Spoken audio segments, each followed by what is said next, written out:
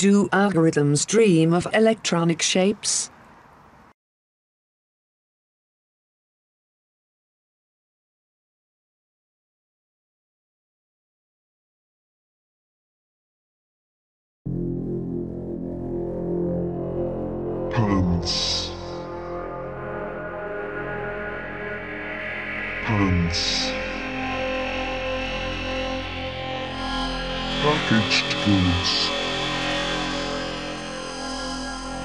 Packaged goods. Musical keyboard. Outerwear. Dog. Dog. Coffee cup. Food. Person. Person. Person. Person. Person. Person. Unknown, unknown, unknown window, clothing, necklace, necklace, necklace.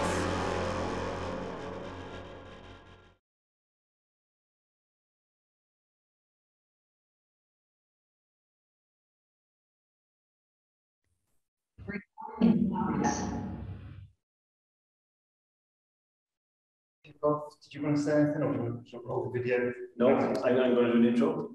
So, are we, are we on? We are on switching to our action mode. And it's recording? We have to share it, yeah. But we've both had COVID, come out this side. All right. We've shared a mic before. So. Good afternoon, everybody. Uh, the beauty about being online uh, in real life and broadcasting is I have no idea where I should be looking. So I'm going to look straight into the camera. Um, my name is Fiach Mac Conghail. I'm CEO of the Digital Hub, and you're all very welcome this afternoon uh, and our panel discussion marking Robin Price's public artwork, Do Algorithms Dream of Electronic Shapes? We are with you both in real life and in real time and broadcasting online from the Learning Studio here at the Digital Hub. Looking behind us, right behind me here is Bridgeford Street and the soon to be opening public park with the river Liffey due north of that. So we are situated in the heart of the Liberties on Thomas Street. The Digital Hub is one of Ireland's largest and most diverse cluster of technology and creative industry campus. We also have a role to play in the local community.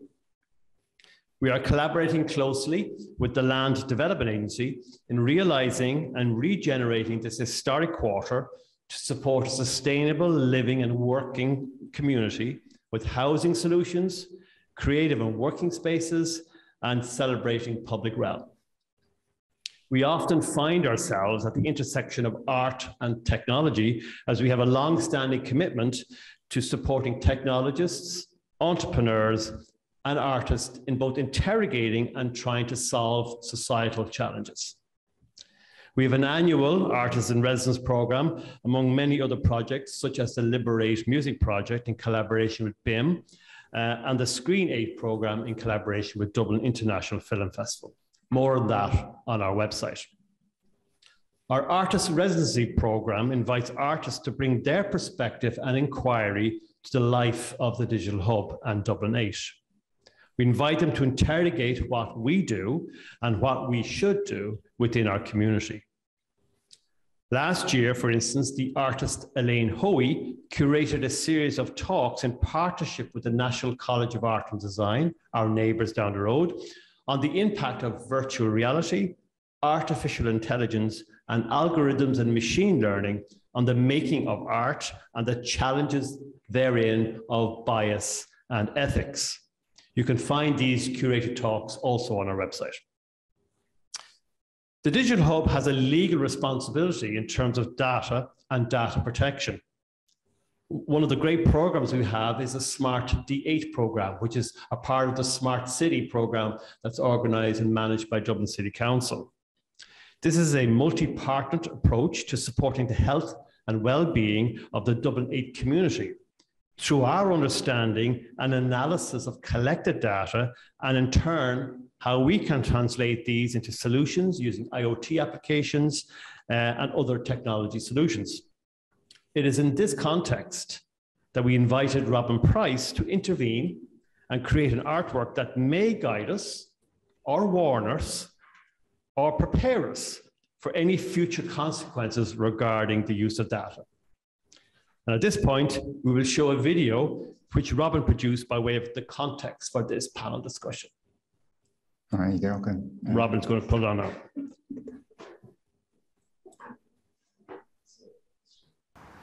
Do algorithms dream of electronic shapes? It's a nonsense question, really.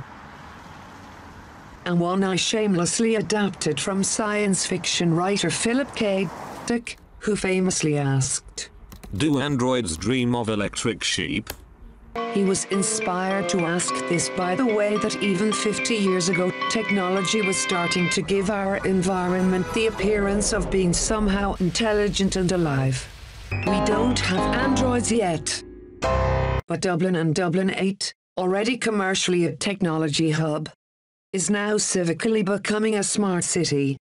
This means collecting even more data and connecting people and institutions in new electronic ways to allow algorithms to guide decisions in the hope that this is good and useful. It's too early to say what the effects of this will be, so this project looks at some of the data we already give away and reflects on how this has shifted society now. Many of us share our lives to some degree online, uploading images throughout the day to companies that sit close to D8. This work imagines what if Dublin's servers and data centres really were intelligent and alive? Watching us by day and trying to make sense of us by dreaming at night? What might these electronic dreams fed from our data look like? Perhaps just as in real life, what we see in person might differ from what is displayed online? Do algorithms dream of electronic shapes takes a random selection of Dublin's social media posted by day and feeds them through an artificial intelligence at night? To ask what the computers see in us, drawing out these digital dreams with laser beams, examining what biases have we already trained into these algorithms. And how has the ability to share and perform our lives through curated displays of imagery changed us? What is it the computers see in us? What is it we imagine we see in technology? And how much is it all just a matter of projection?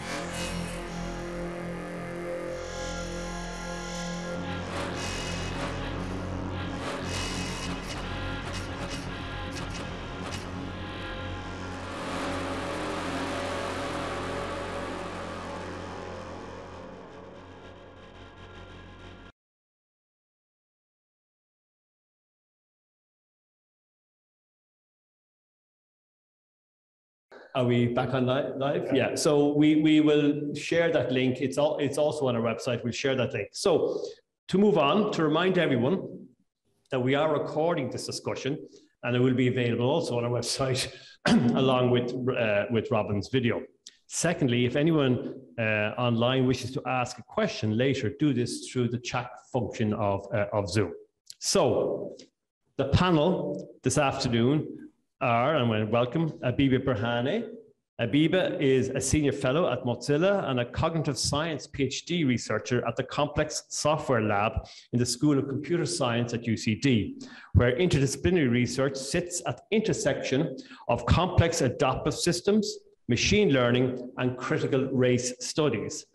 Abeba is an expert in the ethics of the application of algorithms and machine learning. From Macau uh, is Professor Hans Georg Moeller. Uh, he, ha, Georg is a professor of philosophy at the University of Macau. His re research on the way social media has accelerated a shift in how we conceive of ourselves and our identity draws both from the systems theory of Luhmann and from the ancient Taoist philosophy of the Zhuangzi. Aisling Murray is a freelance curator interested in work at the intersection of art and science, or indeed artistic works informed by scientific issues. She is also interested in socially engaged work, activism, and immersive technologies. Prior to her freelance career, Aisling worked as head of program at the Science Gallery for the last 10 years. And finally, Robin Price, who now is sitting on his, on his chair here, is an artist inventor, technologist, technician, transdisciplinary physicist, musician, cat enthusiast, and what's not here as well is snowboarder. He uses electronics, algorithms, code, glitches, and hacked objects to push at the boundaries of what is technologically possible, permissible, and ethical. And his approach is playful, experimental, and publicly engaged. So now, Robin, can I ask you to start off with? Uh, we gave you a, a, a, brief to respond to Dublin 8 and to respond to our responsibility, indeed, our engagement with data. How, how did your work emerge? Um, out of, well, so originally I was sort of looking to work with the data streams that might have been being generated, but there weren't any. So I had to sort of pivot and think about like what data streams there were just sort of out there. And because Dublin's home to Facebook and Google and lots of tech startups, I thought it made sense and they're geographically close. Uh, was to work with those those data streams, all the sort of stuff that we upload, but then also sort of looking back at the original brief around the idea of smart cities. Uh, when I started sort of reading up on that, um, I got sort of drawn into the into the Philip K. Dick stuff. He gave this really interesting talk called "The Android and the Human." He was saying even back in the seventies, uh, when they invented sort of uh, microchip technology and sort of things started to get more and more rapidly automated, that it was giving you know all these sort of things blinking, lights blinking, sort of motors whirring, things started to look um, like they were intelligent and alive. Um, and that people were sort of starting to project the, the idea of intelligence onto um, inanimate objects. And I sort of, yeah, I got interested in that. And then the idea of well, what, what if, what if, so what if those, you know, obviously they're not really intelligent and alive, but what if they were, that we feed these machines lots and lots of data, um, what would they, how would they make sense of us? Of trying to consider, uh, sort of consider things from a the sort of playful, fictitious idea of the computer's eye view. They sort of sit there viewing everything that we upload.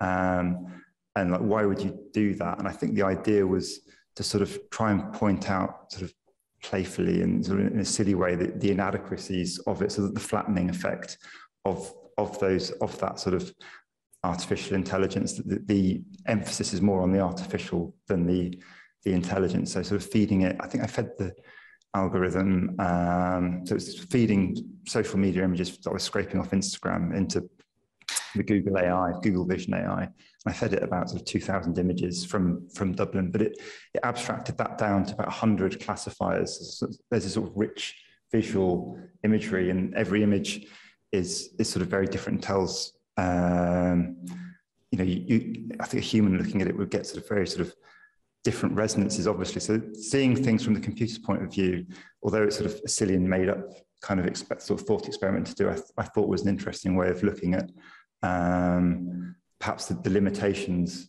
of, of, of that of AI and, and sort of teasing that out a bit. And the and then I also sort of got started to get interested in sort of what, how did these data sets, like when it sort of, so the question I was asking the Google AI was like, what's the thing it's most confident of seeing? So you feed it an image and it'll feed you back um, a list of things that it thinks it's seen and a confidence score for each. Um, and I was just sort of categorizing the images by um, the thing it was most confident of seeing, and then using another piece of like sort of attempt, our attempt at teaching computers to think like humans, which is the, the natural language toolkit. So it's like teaching computers semantic meaning in Python, so it can pass sentences. And again, like and using those sort of order these dream sequences um, by trying to find the closest conceptual link. And again, it would make really odd sort of choices in how it would group these things, which I found um, when interesting. You say, when you say odd choices, did you not preempt these choices? Well, in as far as I wrote the software, um, but you're, you're doing it with the best tools that you can find. So I think it's right to sort of say, well, you know, you set this thing up almost to fail, like sort of to, to, point out what you think of as inadequacies. But I tried really hard, sort of um, try and make it as rich as it as it could be, or, or use use it in the spirit in which it is written to some extent. I think in reality, those tools, so say something like the natural language toolkit, in reality, it's been useful for like stock markets. People will use it to analyze business reports quicker than a human could read it to say, like, is this broadly positive or is this broadly negative? And then make investment choices quicker than a human would sort of try and preempt the market and, um, and make money that way. Um, and I think with the Google AI, I, it sort of in terms of what it, it, saw and what it was certain of. What I found really interesting a number of times, it would keep kept mistaking fingernails for packaged goods. It seemed obsessed with packaged goods. So I'm like, what what what has that data set been trained on so so much that it is it, it just sees sort of yeah, packaged goods, sort of commodity objects in in, in human hands quite often. Um, so it was more in the bits where or, or there'd be something else really really obvious in the in the in the photo, but it was drawn to like the little thing in the corner because that was the one that sort of um, confirmed best to the data set that it had been fed fed with. I found interesting, and this idea that it it could sort of yeah attribute a confidence value to these things. And it's like we sort of reinvented a metaphysical space for platonic ideals in some sense. Yeah, but also you you you had some values. You we look when we discussed this oh, yes, uh, yeah. around say not uh, not uh, projecting images of children. Yeah. Or, tell me about that. How did you? And I'll use this word carefully. How did you manipulate that? Well, I think because you had did you or was it programming? No, so the and. This is another thing that came out of it was that the I didn't trust the there was a lot of things. Although the idea was the installation would just run itself. When in actual practice, I was like it, it couldn't because I didn't trust it to, um, which I think is another sort of thing that I, this idea of like sort of smart cities and automation. There's not ever going to be a role where you sort of completely engineer out the role for people to make intelligent decisions because computers are idiots. Um, so I, I decided when I was working with the, the Instagram feeds, I sort of I would curate what what got used, even though you never saw the image in person because it was drawing out these long exposure um, frames, which was sort of for for a variety of reasons, both because I didn't think it was ethical to like blast people's pictures. Also, I couldn't with the laser, um, and I had an sort of prior interest in in long exposure. I set myself like the sort of ethical dimension of just working with sort of pictures of not of dead people, not of, not of children, because I couldn't sort of in any way meaningfully consent, even though everybody else sort of hadn't, but they, those images were public in some sense. And I thought it was analogous to like when you download, when you view Instagram on your on your on a say a web browser, um, you're using a third-party piece of software to process that image to see it, and you're downloading it. And I would say, at a stretch, that's what I'm doing. I'm using a third-party piece of software to process that image. Uh, and display it. So I think it's within within the bounds just of, of, of what's ethical. But then also I think it's sort of a, uh, an odd question because the images are all there. You could go and see them in their original. They're all things that people have sort of publicly put up. They want, in some sense, to be seen. That's that's what how they how they want to be seen. So the idea that you could sort of complain about it being seen seems quite odd, but I recognize that people didn't, you know, didn't say it's okay to then feed that to the Google AI and ask what the computer sees in that. And it's you know, they might potentially have objected to that then being sort of rephotographed. But I felt that sort of within the art world, there's a long history of sort of appropriation and collage and, and remix that I could at least, if not legally, sort of historically draw on some antecedent argument as to why that was a, a valid way of, of, of working. Um, but you never really, I mean, I think the conversation we had with the lawyers was, or at least we'll have an interesting conversation at the end of it. We'll come to that later. okay, so in preparation for the panel discussion, I had asked uh, and invited uh, Abeba and Aisling and Georg to give a kind of initial reaction to uh, Robin's work. Uh, some of us may have seen it physically, some of us may see it online. So I'll go straight to Macau first and Georg and ask Georg for your initial response to Robin's work, and we'll do a roundtable on that, and then uh, then we take it from after that. Georg. Hi, uh, thanks for having me. Thanks for uh, introducing Robin's work to me. Uh, I find that quite fascinating. Uh, of course, I could only watch it online. Um, so I think, like uh, Robin's questions, do algorithms dream, which he then visualizes in the art project, uh, reminds me of uh, a traditional folk tale, the Snow White story, where you have this mirror, this magic mirror, uh, that reflects uh, images in two way, two senses of the word reflect, right? It reflects the image and it somehow has a consciousness and has a cap- capacity to somehow, uh, in a conscious way, reflect on it. Uh, so I think there's a double similarity between mirrors and algorithms that is shown in Robin's work. Uh, number one, that uh, these are objects that show our, our identity, how it is seen from the outside, how it is seen somehow in public. And that's something that we cannot directly see. So it shows us how we are being seen. So we look at second order observation, right? We look at how an observer observes us. Um, and then, uh, secondly, uh, in comparison with the magic mirror, uh, both Robin's work and the magic mirror uh, somehow adds consciousness to that observation, to this technical, technological object that somehow observes us. So that's that's um, an Im- Im- imaginatory uh, transformation of that object. Uh, of course, I think there's a big difference between traditional mirrors and algorithms like in the mirrors traditionally in the fairy tale, we basically see ourselves how we appear in our social roles to our immediate peers, whatever our family members or uh, whatever. If I'm a professor and then I, I check if my whatever uh, tie is correct before I, I, go to class, things like this, right? With my hairstyle is proper. Uh, so in this way, the, the, the mirror represents the gaze uh, of the peers that are present.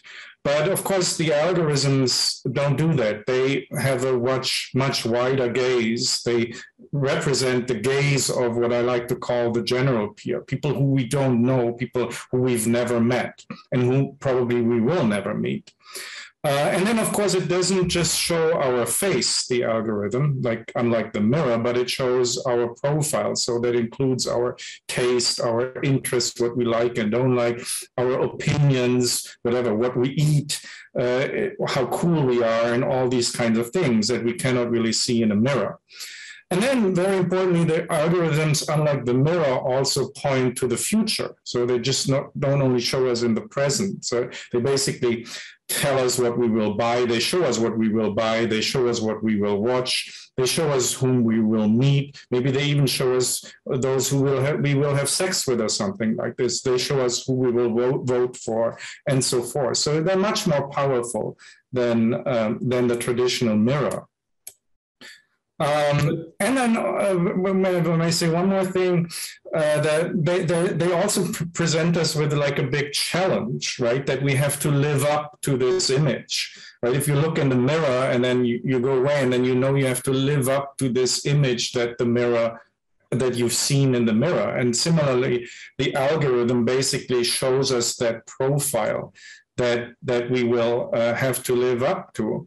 And again like i think robin just uh, shows us this kind of human fantasy that the that the mirror and or the algorithm is actually human that it actually thinks and speak which of course in reality uh, it isn't. But we somehow fantasize that that it somehow is or or should be Georg, thank you. And I, I, will come back to interrogate with you the, uh, the sense of what authenticity means, what reality means, and pretending means within, within the social media perspective that Robin has raised. Abeba, could you give us your initial kind of reflections on Robin's work and how you perceived it, please? Thank you so much. Thank you so much for having me. Uh, and it's a, it's a pleasure uh, to be here. And um, I haven't I haven't seen the exhibition in person either. I've only watched the the video. Uh, I found it really thought provoking and witty and uh, and really smart, as as Robin said himself. this is I, I was watching it thinking i wish i had you know an artistic perspective like this because that kind of artistic approach really uh, you know bring forth important messages uh, which is that uh, uh which is the whole idea of uh, you know um, how algorithms kind of create a sense of identity digital identity uh, kind of taken from the various data traces that we leave behind. And I think that's a powerful message. Uh, and of course, coming from you know the the ethics of AI perspective, I was immediately my attention was immediately drawn to, you know, uh, as as Robin himself said, the question of you know privacy, the question of you know the rights of the person who who posted on who posted those images on social media, uh, and these are questions I myself struggle with in my own research. Uh, and these are also questions I don't I don't have the answer for, and I don't think many people have the answer for. Uh, for example, I've been working uh, recently uh, with um, image datasets, large scale image datasets, and multimodal datasets, where myself and my colleagues mainly kind of do audit work, kind of critical assessment of what's in the dataset, how are you know certain groups and certain individuals represented, what's you know the kind of what's the kind of content that's found in these datasets and you find especially in vision datasets you find there are so many images that shouldn't be there. I know, Robin, you excluded images of children or deceased people, but that's not the case for many vision data sets. Uh, so you find, you know, images of children, even even ImageNet, which is supposedly one of the gold standard, the best data sets we have for training computer vision systems.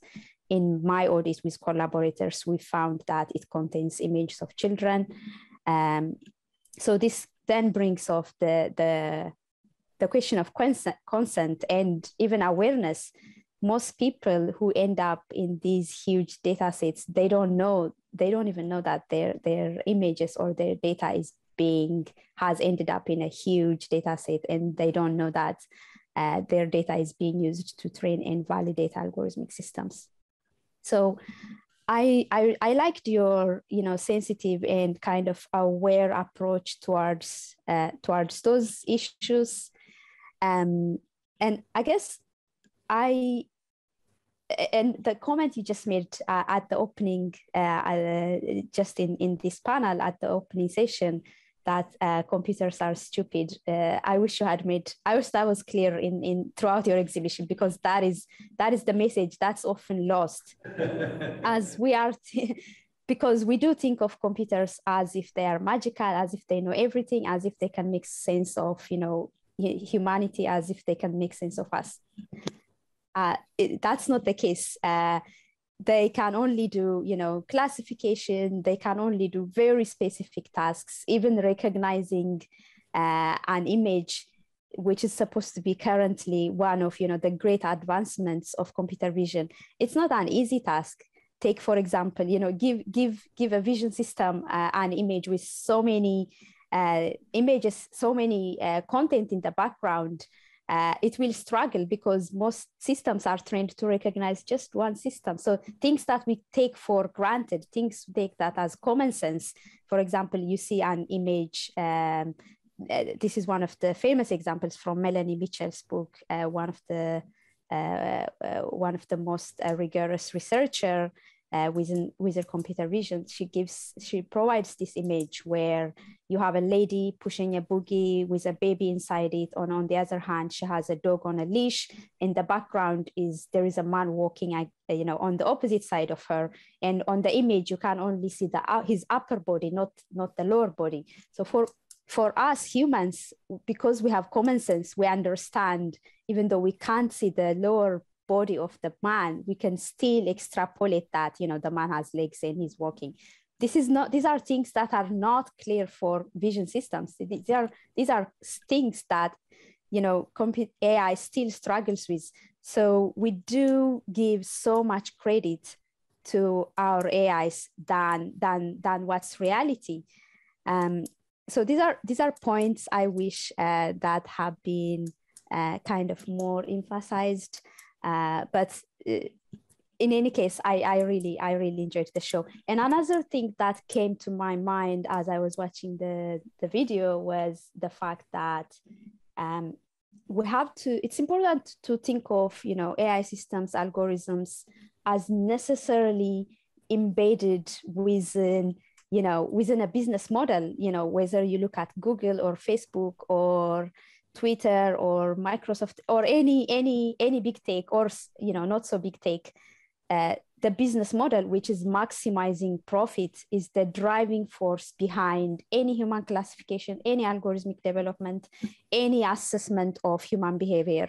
So uh, any classification or any understanding of human behavior modeled into algorithms or driven from algorithms is inherently intertwined by you know what can we sell? How can we make the most amount of money? So these are things that you know that go hand in hand in uh, uh, in in, in um, how human beings are modeled and in how the tech world kind of uh, uh kind of progresses. So uh, yeah, that's that's an important. Thank you, uh, thank you, Abeba, on that. it, it it made me understand because we had a lot. We'll discuss this later around our responsibility, and in fact, I'd be interested to hear Aisling's view on this later uh, around the increasing awareness of our responsibility that the human has to uh, uh, manipulate the machine uh, in order to, and therefore bias and, and values around that. And, and I know Abeba has has written and spoken about that, and we, we will we'll have that discussion later. So finally, Aisling, uh, what you know, tell us uh, how you approached and how you viewed uh, Robin's artwork. Yeah, thanks so much. I mean, Robin, as you know, I'm a big fan of your work. I am, um, and I agree with, absolutely with with what the others said there. I think what was really interesting for me, there were several things that were really interesting about this project. I think the facts that you set out initially to start with the data set created by the D8 Smart City, Smart Cities, yeah.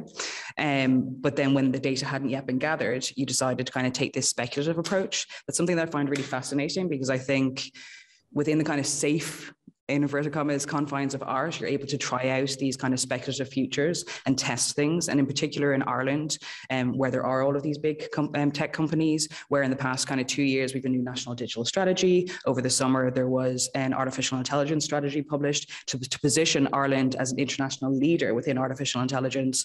I feel like artworks like this can be a kind of uh, a, a, form of uh, public engagement to educate people that they can begin to question the ethics of these things and understand a little bit more the technologies that are in use and that are going to be coming down the track.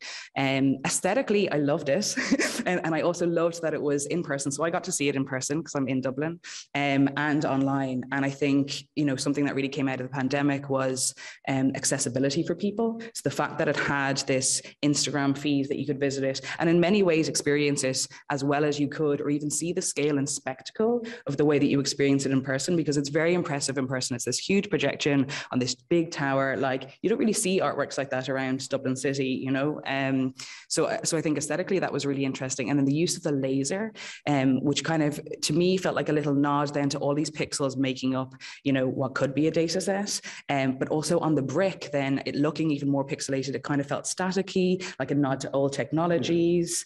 Um, um, so I, yeah, aesthetically, I really, I thought it was beautiful and really, uh, really impressive. It also raised a, a, lot of questions for me as well. Um, I suppose, you know, you've spoken through there a little bit and uh, uh, Abeba's final point there as well the entwined human element. I feel like there's a lot of invisible labor when we talk about artificial intelligence. Like we talk about it as though it's totally autonomous, and it's not. So you put like first of all, you decided on certain values and you put those in place, and then you manually went through and did those. This wasn't an intelligence that was doing it completely independently. So that's really fascinating. And also, I think you know within artistic practice, if you're going to be using these new te- technologies and using AI as a creative tool, at what point do you set out those values and put in place a kind of guidelines for yourself? There was um, there was a group a few years ago called Trust Me, I'm an Artist, led by Anna Dumitriu. And it was primarily concerned with bioart, but they set to try and put together a set of guidelines for good science and art collaboration. And I think, you know, like you said, remixing, sampling, collage, none of those things are new. And like these things are in the public realm. However, increasingly, as people are more concerned and should be and interested in what happens to their data, like looking at how we can have more of an ethical approach and is that having you know uh, an ethical panel. So, like, if this was a science research project, and it's not, importantly, because it's like lots of provocative questions, but if it was, you would have an ethics panel where you would have to kind of, you know, ask questions and put these guidelines in place. So, yeah, I mean, it's, yeah, it, it raised a lot of questions and was super interesting. Yeah. I mean, I think, is it ethical to make art out of that? And how you know, I mean, it does raise a lot of issues. It raises a lot of issues around the fact that uh, Instagram uh, has every right to uh, to, to that data and, and, perhaps a third party doesn't. So, I mean, how, what's your view as a curator regarding that? Mm. I think it's an interesting one, and and for me, like a lot of very interesting art, it treads a very thin line. um, so you know, I mean, do, can we justify it because it's art?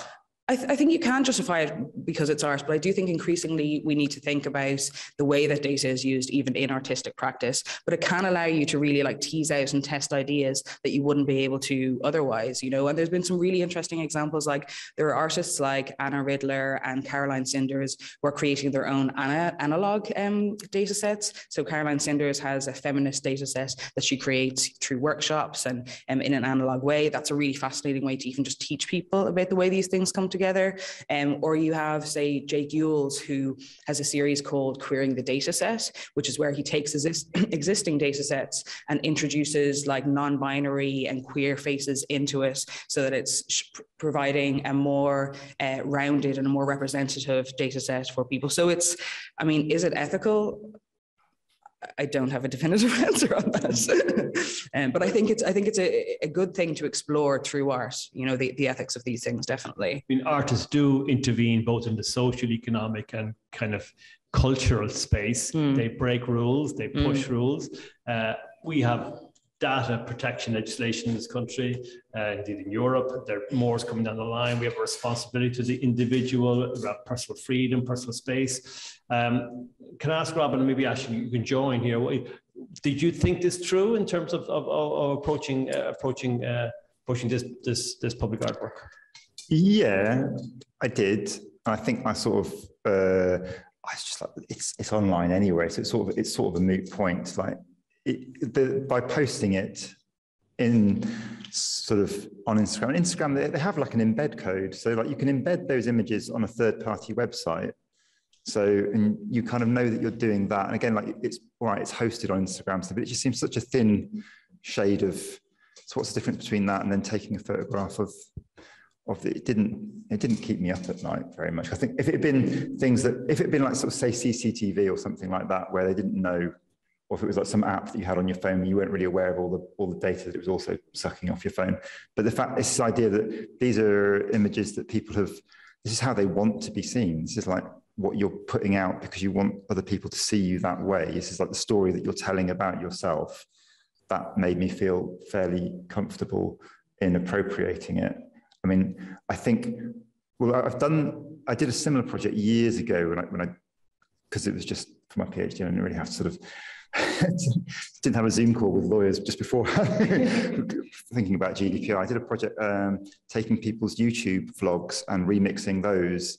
Um, and then, but then as part of the process, letting them know, like commenting on their vlog that I borrowed their vlog and mashed it up with a load of other vlogs to make these like hybrid, kind of weird beatboxy videos.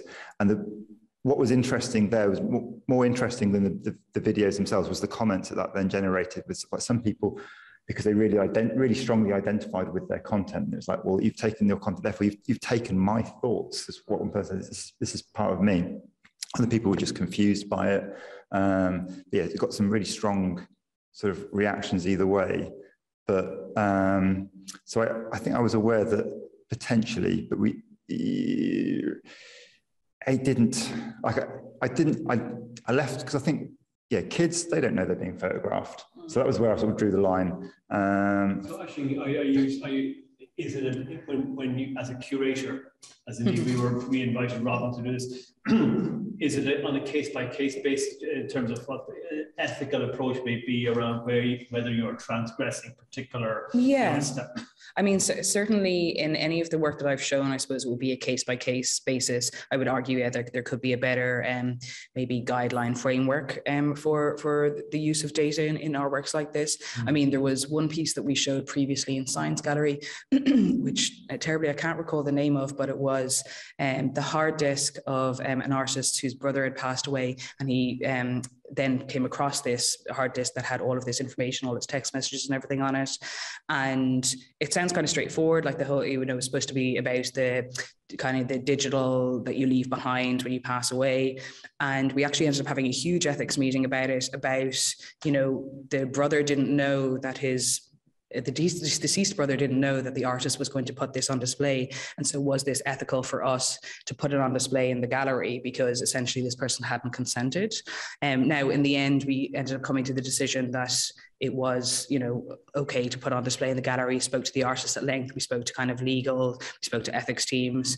And um, I think that the only piece that we that I ever kind of came to the decision that we wouldn't display, which actually ended up being for legal reasons, was a piece by Nicolas Maigret called "The Pirate Cinema," which would um, tune into the network to see the top 100 films that were being downloaded at any moment, and then it would live stream those. So essentially, we weren't live streaming them, but they were being illegally um, streamed. Or sorry, we were live streaming them, but uh, we weren't illegally downloading them. It was being done by other uh, other people. However, when we kind of consulted with uh, legal, it was deemed that it wasn't possible for us to, to actually put this on.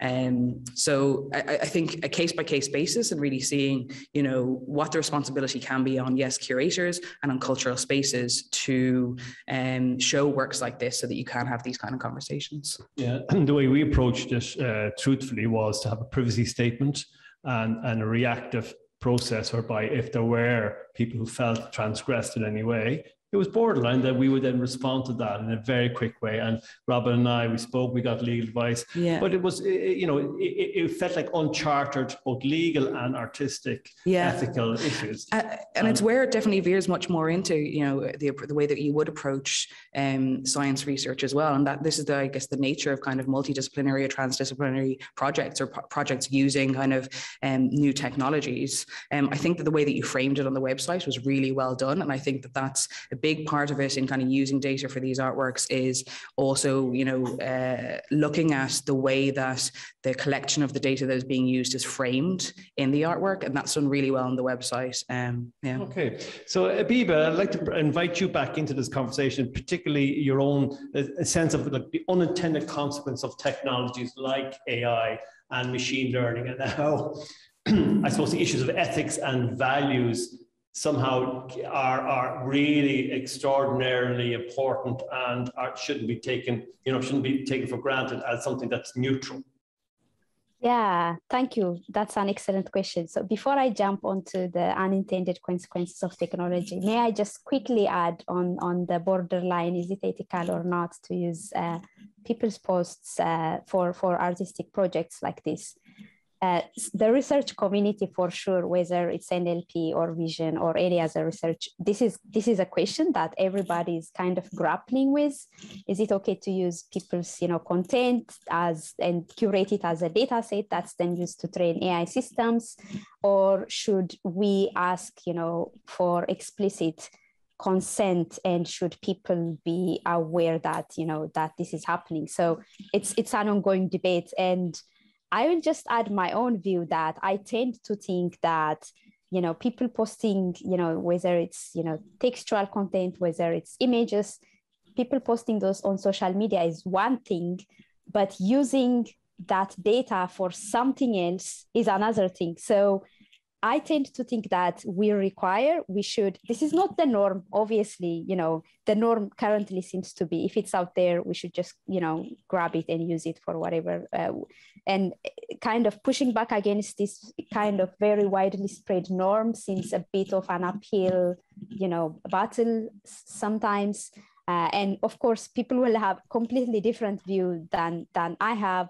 Uh, but just adding my my kind of almost radical view uh, is that people should be again i'm speaking from the research point uh, from the artistic point this project has a different view a, a, different purpose which is much more positive which is bringing awareness to you know the impacts of smart cities. Whereas on the on the research side it should it, it, it tends to be you know we are training this model so we need huge amounts of data so we'll take this data and use it. So keeping all these differences in mind, uh, I, I, think uh, we should at least strive to for kind of uh, uh, for a practice that takes that makes sure that you know asking for consent and making people that aware that their data is being used uh, as somewhat the norm should be something we should strive for. So I'll, I'll, I'll now I will quickly uh, cover the unintended consequences. So I, again, I have a very radical view. I tend to think even the very phrasing unintended consequences is problematic because, because I have, I have so far worked on he, three big, uh, large scale data sets, two vision, one multimodal. And a lot of people have done so much research, especially in data sets and auditing algorithms. And the result and the finding is you know, it's robust. You find the same result again and again and again and again, which is that data sets and algorithms where when we don't delve in and do critical assessment and when we don't when we don't go in and do the actual work of mitigating the biases you know problematic associations stereotypical labeling inclusion of slurs you name it you know uh, uh all kinds of problems. When we don't delve in and correct this, when we don't delve in and do all the mitigating uh, practices, unless we have done this, we can't guarantee that any data set will, will, will be biased, will end up in discriminatory practices, will embed historically and socially discriminatory and uh, you know racist sexist labels of individuals and groups mostly marginalized groups and the algorithms we develop based on those those data sets are not going to do any better obviously because you know the data is problematic. So we can guarantee that all data sets all models have problems. So we, if the assumption if the starting point is that then we don't talk about unintended consequences because it's because we know that you know because we know that unless we do the work it's going to be problematic. So it will just be a consequence so my thinking is is that you know we will always have problems. So we have to actively work. We have to actively clean data sets. We have to actively improve uh, and test and and make sure that algorithms are working. Unless we make we go and make sure that they are working algorithms will always fail. And when they fail they will mostly fail people at the margins of society. And this is this is something that we are, especially over the last few years, this is something we are seeing with research coming out again and again and again, including my own research. It, that's very interesting. In a sense, what we're saying, and, and uh, what Aisling is saying too, is that the intent, the intention of, particularly what we're talking about today, the intention of the artwork has to be really clear, really evidential from the beginning. The intention has to be laid out so that, so that actually uh, what, what Abib is saying is it is intended consequences. I mean, our own bias and our own values, whether it's subconscious or not, is intentional or is certainly like hardwired in, and then we have to test that. We have to be sure that whatever we do, uh, it, it, it, we, we have to take responsibility for it, essentially. Aisling, would you have, want to add to that? Yeah, I completely agree with everything that Abeba just said. And and I would just add, you know, to, to the piece we were saying earlier about the entwined human element. It's the same um, with intended consequences. I would say the same about the use of the word bias, um, which was the, the last show that we did in, in, in Science Gallery Dublin. Um, but with bias, you know, we talk about it when it comes to algorithms, artificial intelligence. Again, it's not this independent thing. Like humans, like uh, new technologies are embedded with human values and encoded with human kind of predispositions in the same way that any human is biased, any kind of machine will be. So we kind of constantly have to return in the same way that like, you know, history is constantly evolving and the way that, that story is constantly evolving. I think we constantly have to kind of come back and check these things and just be, be very clear on what, what our intention is. Georg, I'd like to invite you in, and, particularly to talk what, about the Taoist idea of genuine pretending. Uh, and I suppose my emerging understanding around authenticity or the perception of authenticity filtered through social media. Uh, you've written about this. You've written about the double bind. Could you could you maybe uh, contribute to that conversation? Uh, thanks. Uh, these are a lot of questions, but I'd like to do the same as Abeba and maybe uh, first comment a little bit on the discussion that was going on. Um, uh, I found it interesting and good, very, valuable that Abeba was pointing out um, uh, the capitalist interest between, behind everything that's going on, right? Everything is is about private property and turning all these data somehow into private property.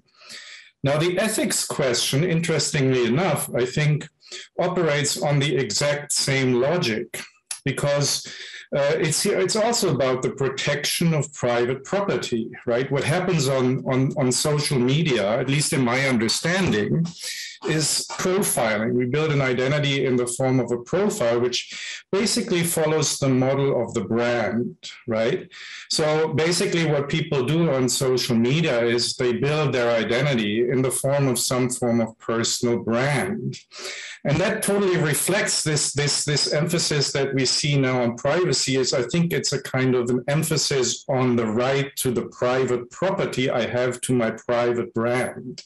So I think this the, the logic, even though there seems to be like uh, at first sight somehow contradictory, I think they're not at all contradictory. They're both based on the same on the same kind of branding and private property logic.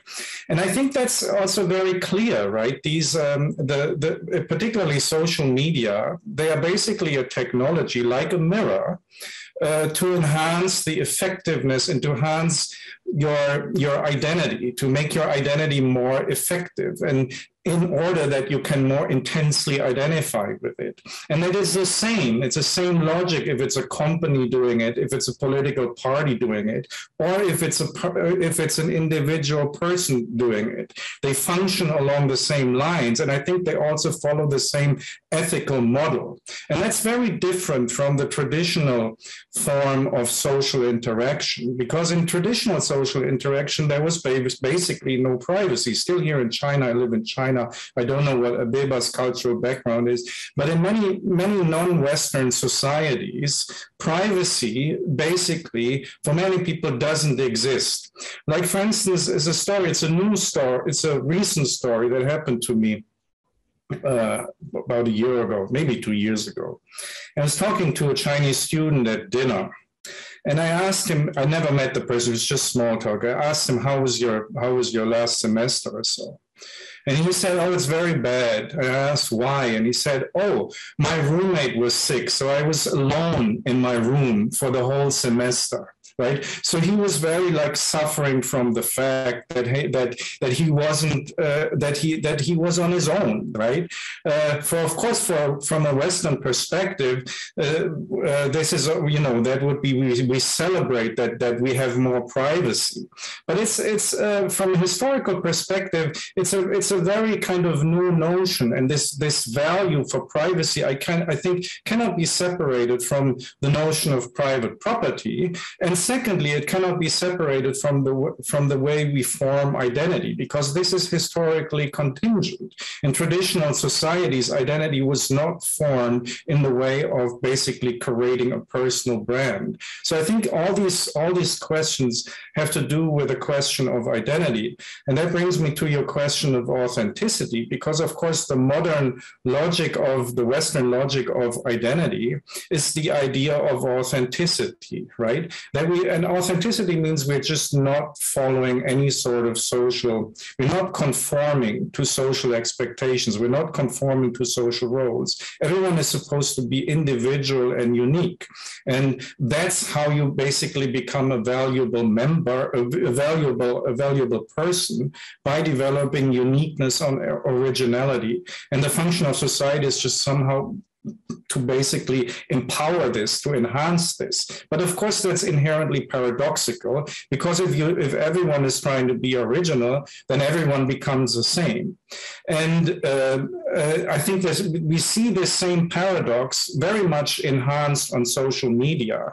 So the, the social media is basically a technology for enhancing this paradox and making it more and more visible because also the social media or social media, I always use the article the, which I shouldn't do. It's a German thing. Sorry for this linguistic mistake. Um, uh, social media also provide this opportunity uh, purposely to basically develop uh, uh, authenticity, right? And actually, I read this uh, just recently. I find this very interesting in a German news report on the 10 most successful um, uh, influencers and the, the newspaper article said, oh, the, the, their, key to success is their authenticity. Right, which is of course totally uh, wrong, right? Then the authenticity was the then there was described what they meant with authenticity that they only make uh, commercials for brands that that suit their image. So again, it was it was totally about brand consistency. And so uh, that uh, I think again, just to conclude here, that the double bind of authenticity, which consists in that if you follow the command be authentic be original you're already inauthentic and non-original that this paradoxical double bind um, becomes more and more and increasingly obvious through social media and such phenomena as influencers. And I think the same kind of paradox also becomes obvious in uh, the, the, the uh, issues that, that you were discussing uh, before, the ethical issues. Thank you. Abeba, do you want to add to that? No, I, I, I'll leave it at that. I, I very much agree uh, with, uh, yeah, I agree with uh, what Greg has, has said. Very good. So we're coming towards the end, and I, there are a couple of questions uh, that I that I, I, that have come through the Q and A chat. But just to reflect on that, Robin, um, back to you because in a way your artwork deliberately ra- about these issues uh, the issue around the, the values. Uh, and in a sense, you are already interpreting all these images that were, you know, essentially the, the subconscious of Dublin 8 and the notion of that authenticity or that faked authenticity, the double bind. Can you comment about the, you know, were there patterns within uh, what you what you saw, were you were you self editing some of those those kind of images, and, and how you approach it.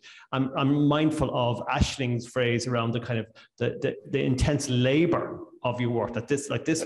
You just didn't switch and, and wait for eight weeks. That every night you were collating, collab- and interpreting those images with your yeah. kind of so I go on, maybe. I mean, normally I got it down to about tight 10 minutes by the end of it. Uh, log in over VNC and just, I'd, I'd, written a Python script that would download images throughout the day um, from Instagram. And then, so there was, it, yeah, I'd take out kids, dead people, which meant you'd have to like read the, what had been written about the things. I'm trying, there weren't only once or twice that happened. Um, but then there would be like an aesthetic level, like some things I just knew weren't going to look very good drawn through the laser. Like it, it, worked really well with like high contrast images. If you've got like someone posting quite an arty photo with like a sort of black background and like you know like a portrait where it's like really well lit, um, that I'll definitely take that. And there were certain ones where it was just sort of if it was a particularly pants looking advert, and I was like, well, that's just going to look rubbish. You've gone to all this trouble um, of setting up this laser and, and, setting up this camera. So I'll just leave that one out. Um, so I would pick I would sort of pick out the ones that I thought would look a bit rubbish. Um, and then the trends, I saw a lot of nail art. The people of Dublin 8 are mad for nail art. There's a lot of fingernails getting posted. Um, and and tattoo shops. I think there's a tattoo shop down the road that's quite quite prolific. Um, and then I think the other thing it was it was interesting getting knocked out of your normal social media bubble for that period. So instead of like doing what I would normally do, sort of browse my Instagram, browse my Facebook, and just seeing all the stuff that sort of confirms my own friendships, biases, and interests. Um, seeing sort of like this sort of weird God's eye view of a place, which you could, which is, which is odd because you could do that anyway. Like you could browse Instagram in that mode, but we don't because that's not the way the software sort of it's set up to make it easiest for us to do. So when we log in, the first thing it shows us is this you know, things that it thinks we want to see through this really opaque algorithm, which no one knows how, what it is they choose. So they don't, you know, it's not like it used to be the most recent thing that your friends had picked. Um, so it was it was interesting sort of spending that time just looking at all all this random stuff and sort of seeing a cross section of things that you wouldn't wouldn't normally but yeah. I love that you know obviously you had like your limitations around the ethics of choosing to not show certain images but also in choosing to not show certain images because they weren't interesting. You were being your own human instagram algorithm. Yeah. curating or like upping the ones that are like slightly more um, uh, pleasing to look at very good. Uh, we have a question uh, coming in from, from, uh, from Q&A. Uh, Robin, do you think maybe that is not also an opportunity to challenge the importance of give to privacy and, and uh, as a concept, and maybe this is a value linked to a more individual, individualistic contemporary society? Um, do I think it's, a, or is it an opportunity to challenge privacy? I think it it probably did. I, mean, I think sometimes we you pick ethics, as I said, you've got a free choice to pick your ethics. Um, I think you have to be fairly because it comes down to like, are you going to get sued? I mean, also, also, how are other people then going to judge me for what I've done? So those are the two kind of systems that kind of feed back on have you made a good decision? um, and I felt like I could just about, well, I could defend it on the basis that these are images that they've already, these aren't people's private images. These are very much people's public images. This, you know, is their idea of their public image. So, um, and I, I think the, the, the, privacy thing, it's more about like what Georg was saying, in that you want them to really tightly control that public image. Um, and I think the tension, if there was going to be any, which there wasn't in the end, uh, would have, um, when I did it with YouTube stuff, it, it, it arose there. I think because people don't like the, they identify quite strongly with their with their brand image, and then if you use that in a way that they haven't sanctioned, that's where the offence then then lies. And is um, you know, do we ultimately have a right to to constantly manipulate how other people see us? I don't know. uh, we have an artist in the room, um, Hugh McCabe, and he may have a question or a comment. I'll just pass the microphone on. I feel like talk show host. Thank you very much. Sorry, you guys can't see me. I'm invisible. Um, but my question is really for Abeba. Um, I, I, think your work is great. Really interested in it, and, and thanks for your talk. Uh, um, I, on the context of this, is I, I, studied computer science many years ago, uh, back in the late 80s, early 90s. And even though we were grappling with things like machine learning and computer vision and all these related technologies, I don't like recall a single conversation that ever happened about ethics or about bias or about, um, you know, uh, the impacts of these technologies, uh, positive or otherwise. And like obviously a lot of things have happened since then. You know, we've got science and technology studies and critical AI studies. We've got lots of great kind of artistic interventions of sort that Robin and Aisling are involved in, which are grappling with all this stuff. But like my question really is like, are those conversations, sometimes I worry that all these conversations are happening in kind of bubbles that are outside the actual development and deployment of these systems. So I, am just interested in your view and like anybody's view here about, is anyone listening? that is that is a great question and yeah i do sometimes wonder if you know my views are or if you know I, i'm really just in a bubble and nobody else cares about you know my research what i'm saying what i'm writing. So yeah that remains to be seen. I don't know.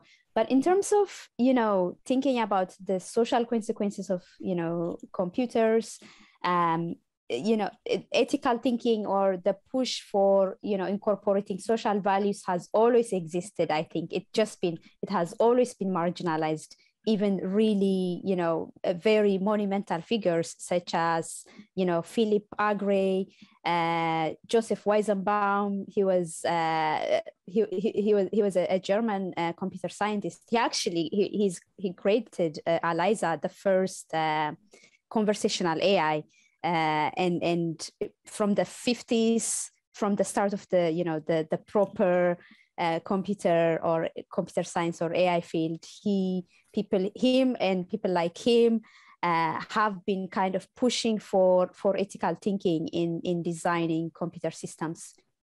And uh, I think I sometimes go back and read Weizenbaum's work, and it just it's just as topical and it's just as relevant today as it was back then.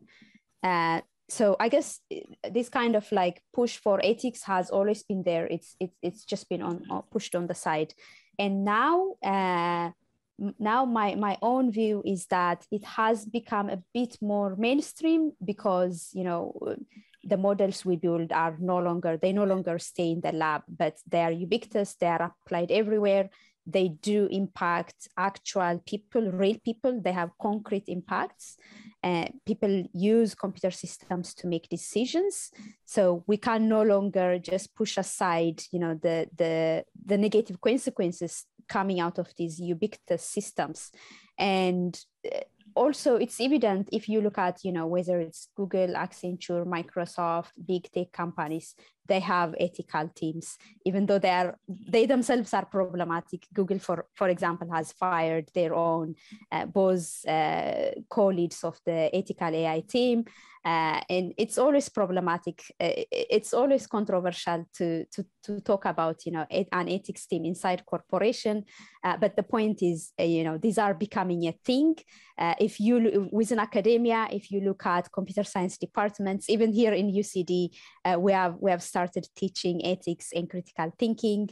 Uh, you know, big universities, if take Harvard, MIT, Berkeley, they have all, especially over the past number of years, they have all adopted uh, ethics modules for computing classes. So I think uh, it's it's becoming more more mainstream. Uh, mainly because people have no choice but to think about ethical consequences because the you we whether it's mainstream media whether it's research papers you hear again and again and again you know such and such have been imprisoned due to uh, we for example we have three uh, black men that have been falsely imprisoned due to errors in facial recognition systems. You hear you know older workers are being excluded from ads uh, you hear there has been discriminatory consequences because of some kind of algorithm that's been used in, in banking or in, in social welfare or anything like that. It's just, there is no, you can't go a day without hearing this kind of negative things. So that has to some extent forced, you know, people, whether it's industry or, or academia to, to, to think about uh, ethical implementation and designing of algorithmic systems. Uh, so I think it's it's becoming mainstream. That's my that's my personal assessment for sure.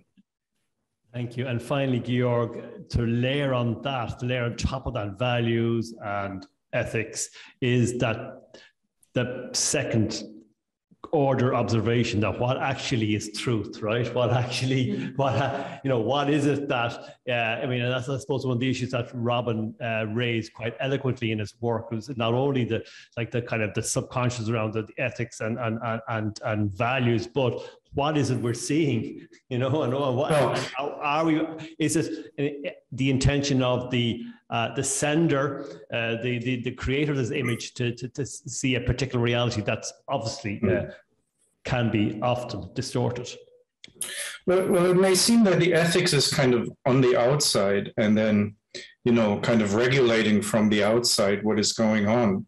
But I think that's not the case. I think the ethics is inside and is in itself a part of the branding and the profile building. And I think that's why it becomes mainstream, as Abeba just said. You know, there is no big tech company that can afford not to be ethical. Uh, and why? Because it would harm its profile and because its profit consists in the value of its profile. And the same thing is the case at universities. There is no university that cannot afford ethics courses and to employ ethicists because it would harm the profile of the university and thereby harm the value of the degrees the universities are in fact selling and marketing. So it's not the case that the ethics is, so to speak, an outside regulator of this kind of discourse. It's it's an it's an internal and very powerful uh, profile building mechanism and branding mechanism. Thank you. So on that note, I just want to finish off. I think we've uh, we've we've um, we've given it, it, it, it, time, and I just want to thank the panel. I want to thank Georg and Abeba and Aisling uh, uh, for the commitment and involvement this afternoon. Uh, I want to thank um, the Digital Hub team who supported both the exhibition, the facilities team were amazing on this, and the discussion, in particular my colleague, Dr. Caroline Viguet, who managed and mediated uh, the work here for us.